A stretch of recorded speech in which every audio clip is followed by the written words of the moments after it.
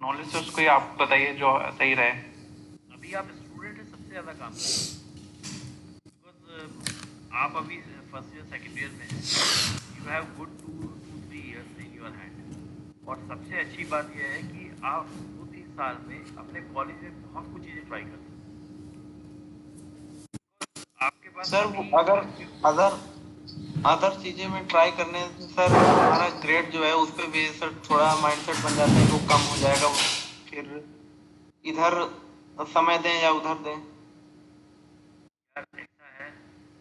Grade सबको पता है बीटेक में ग्रेड कितने कम होते हैं, सब एग्ज़ाम के टाइम पे पढ़ते हैं नॉलेज ज़रूरी है no doubt about it but अगर आपके मन में कुछ करने का, कर गुजरने का है तो आपको कहीं ना कहीं ग्रेड में आपको टेन से नाइन मिलना जाएगा ज़्यादा क्या होगा?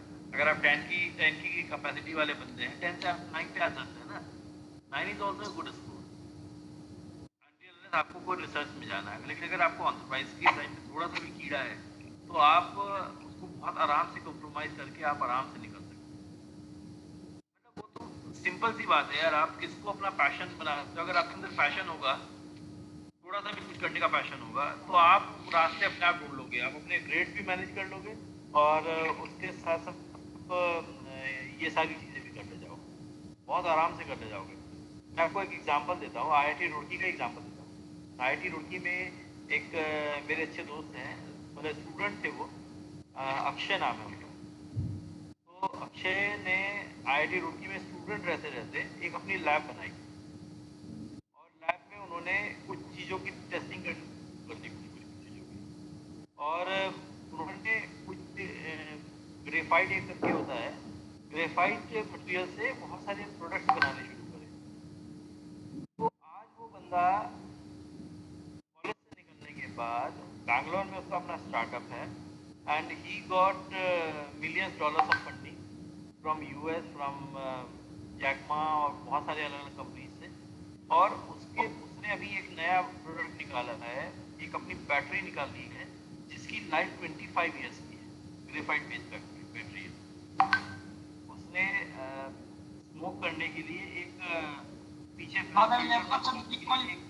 पफ बनाया है जो स्मोक के जो नेगेटिव एस्पेक्ट होते हैं उनको करीब ट्वेंटी फाइव परसेंट तक रिड्यूस कर देते हैं तो इस तरह के नए नए प्रोडक्ट निकाले और उसने कॉलेज में रहते हुए किया।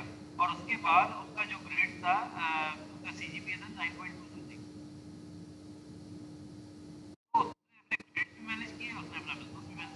बहुत अच्छी टीम बनाई उसने दो तीन लोगों की अपनी। वो आज इतने बड़े लेवल पे जा रहा है बहुत बड़े लेवल बढ़ गए आगे। तो ये तो जिसके अंदर कीड़ा जिसको मैं बोलता हूँ। मतलब if you have that passion you have that कीड़ा get a lot of ideas, lot of uh, stuff to work upon.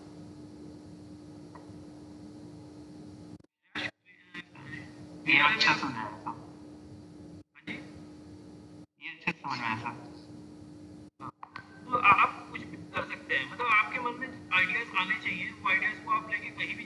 कैसे भी जा सकते जो के अंदर जो माहौल रहते हैं सब चीज़ों को लेकर क्या हम सर ऐसे आप कॉलेजों में भी वही सोच कर आगे बढ़ सकते हैं कि वही माहौल हमको भी मिलेगा उतना सर नॉलेज हर चीज़ एक्सपेक्ट कर सकते हैं सब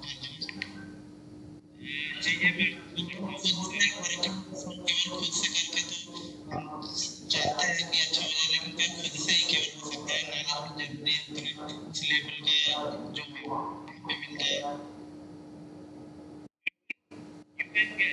देखते हैं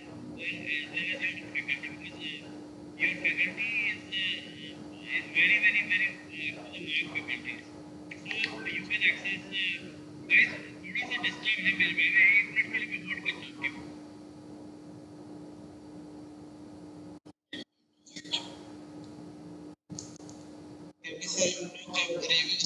ऐसा पता चलता इन सब कॉलेजों में उतना ज़्यादा जो है सपोर्ट नहीं मिल पाता जितना हमको मिलता है, ऐसा कुछ देखने को ज़रूर मिला सीनियर से भी रिव्यू देखने पे।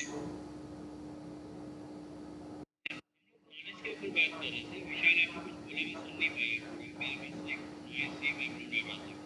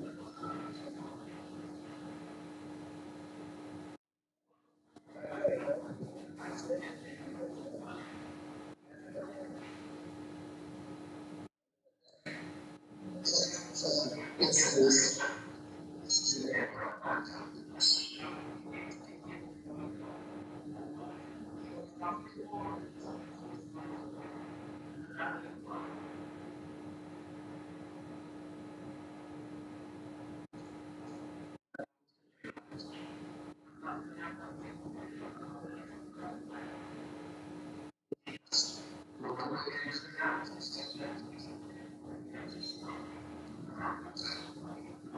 you.